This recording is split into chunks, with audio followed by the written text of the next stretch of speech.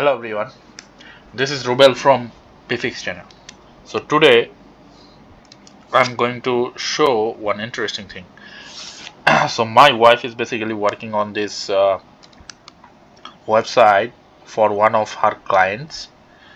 Uh, they asked her to update the website so that uh, they can have some information from the sign up page to their database and then they show it as a team member or whatever on their next page.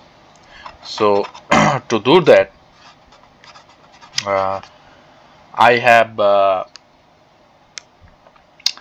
uh, search all of the Wix support and figured out that they don't really support it. So the problem is you guys probably who whoever it is that developing using Wix they already know. So if you use any form to submit data during the sign up it goes to Wix somewhere and then it generates a mail. A mail comes as a notification and then as a member request you basically accept it or decline it or whatever right? But the information that came in we really don't store it in anywhere okay? So the idea of my uh, this uh, session is to train you guys how to basically store those information uh, on a on a systematic database somewhere and then use it later on for all the purpose on a Wix website that you are going to make. As you can see there is a feature request okay? Uh, currently it is not possible to save the data that site visitors entered into the custom sign-up form to a submission tables this would let you manage the data in the tables with options such as adding or deleting data filtering data sorting data and exporting data. So currently they don't have the support of these features. Okay the hot features let me show, show it to you. Uh, so I open this website okay? This is uh, one of the website from one of uh, this is the website from my wife's customer. Uh, as you can see I will uh, so I will try to show it. So why we are we are here? We'll try to get you through all of the uh, things that we want to show. So first of all what I want to show you uh, the website ready right? So you can go there okay? So view site. It's an Wix site you know. So we go there alright and then we sign up. We click on the sign up. Okay, on the sign up icon we put out whatever whatever information is in right? And then we click submit right? So this information all of the information needs to be stored somewhere and then you need to iterate through those information and whatever right?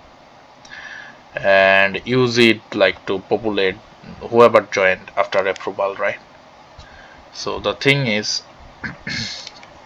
this is the code of this sign up custom sign up sign up page. You can see it is basically lightbox mode enable okay?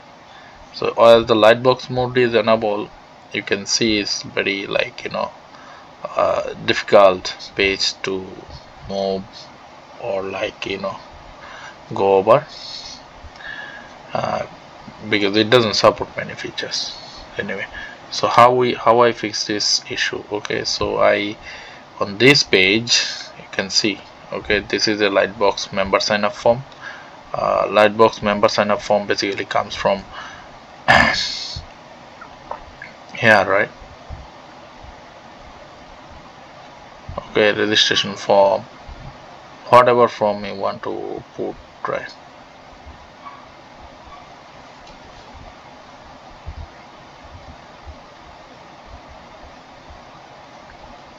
right? And then uh, what do you want to do? Okay. So this sign up form is here. We added this sign up form here. We updated everything. Okay so this is a member sign up form. Now what I want what I want to do I want to store those information such a way then I can populate I can create a different page. For example this team page. Right with all of the information and whatever. Okay. Okay. So I want to do this kind of thing so it was not possible before. This place was dynamic. It was not dynamic. It's possible now. So the database that you are saying this is the database. Is basically linked with this page the team page I'll show it to you. So you can see it has full name photo position short description long website email. Okay it has many more. Phone team name whatever team all. Alright uh, how I add this page right? Probably you guys are like. So this is uh, I think so this is added preset right? So I went there. I selected it. There you can see the team members right? So I basically add this one. So it's a dynamic page okay? So uh, you basically add this page as a dynamic page. You go there make on the dynamic page that is a dynamic collection. So dynamic collection is basically this DB now I know I have a database okay? I, what is my database name? You go there add more action collection settings you can see the database name is stream you can change the database name if you want. Now that is done. There will be some template data in here from the beginning so you guys can look into it later. Uh, or change it wherever you like now I come up to my sign up page custom sign up page and then I basically add this database. Okay? I basically pull the dataset. You can add the dataset from here. You go there you search for the dataset this is very tough right? So adding this you just add start for the dataset dataset okay. And here you can see this dataset is here. So I basically add the dataset from here. Okay. You can use from dataset or normal dataset I use the content page element to your content. Okay. So I use this database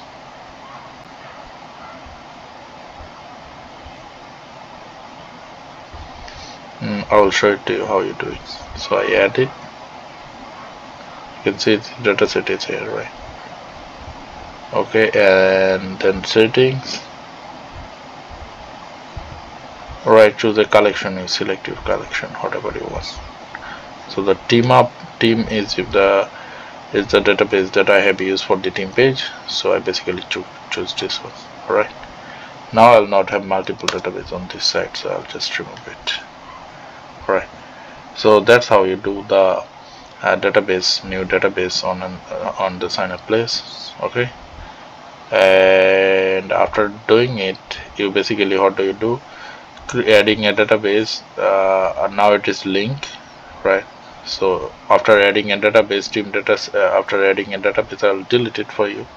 I'll show it to you let's do it so this database we deleted it right?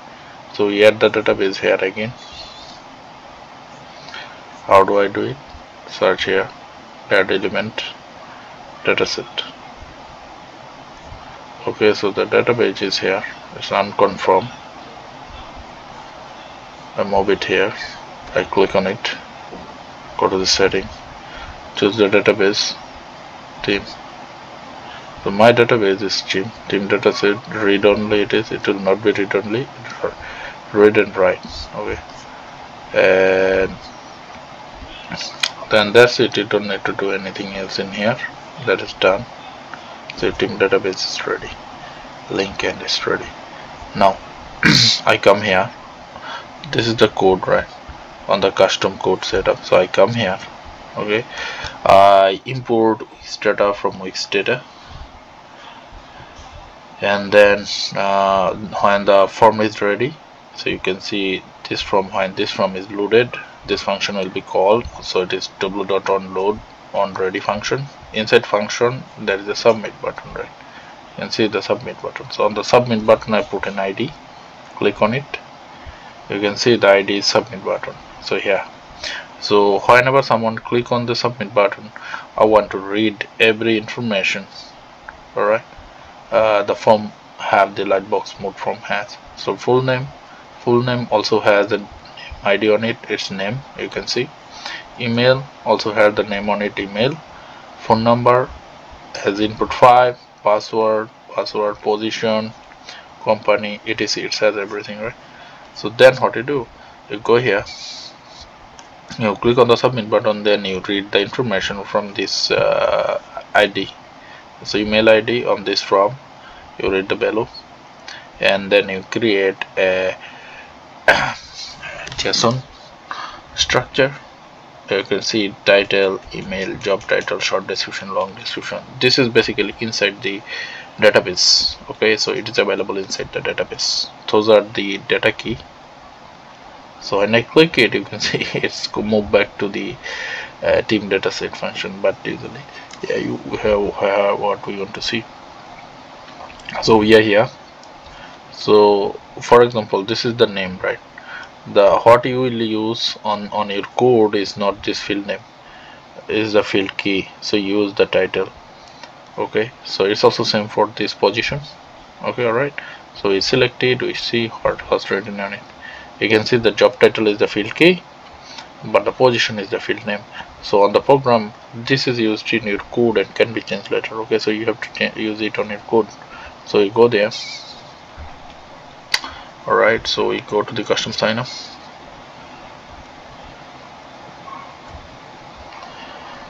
So here you can see name email position description and description we basically read all of those information from the text on the sign up form and put it on the uh, key db key all of those uh, key name email job title short description long description not the not the field name. It's basically the field key. It's not the field name. Remember to use the field key not the field name. If you use the field name it will not work. Alright and then you basically put a try catch condition and then you do insert inside your team collection. This whole json when it is done it will say it will, it will print uh, on the console we'll trace it and it will say like executing. So let me save the form okay it saves now what I'll do I'll just run this uh, test site. Alright so here you go a site and then I go to sign up. I write down whatever I want to write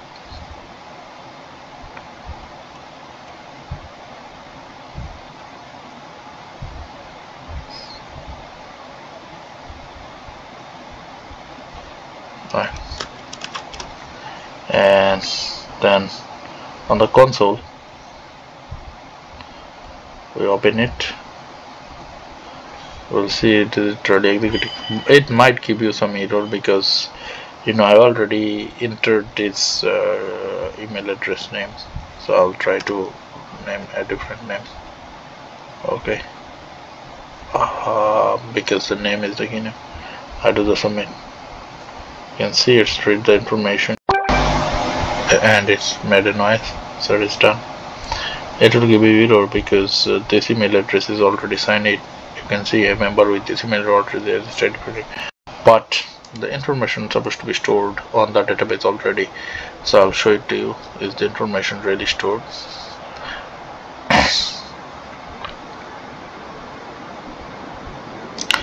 Let us see here you can see Shatabatta one unended member and her email address is here. So it is done. So that's how you guys solve it okay? And this is a dynamic page right? So whenever there is some member put or import see.